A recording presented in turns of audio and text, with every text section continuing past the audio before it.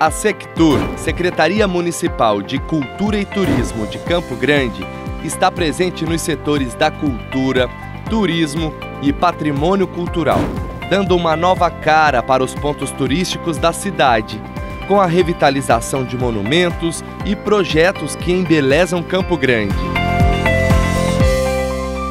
Com mais de 18 cursos gratuitamente ofertados, a Sectur se destaca aqui na plataforma cultural, trazendo cursos de danças árabes, biscuit, danças de salão e aulas de violão.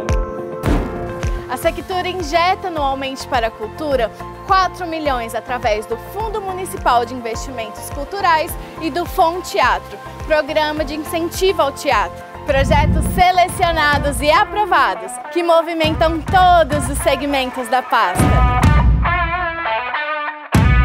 Além dos diversos projetos com foco na cultura, a Sectur tem como prioridade os cuidados aos monumentos e pontos turísticos da cidade. O Mercado Municipal de Campo Grande, o Mercadão, inaugurado no ano de 1958 como um ponto de vendas de carnes e verduras em uma feira livre, hoje tornou-se um dos principais pontos turísticos de Campo Grande, com uma variedade imensa de produtos.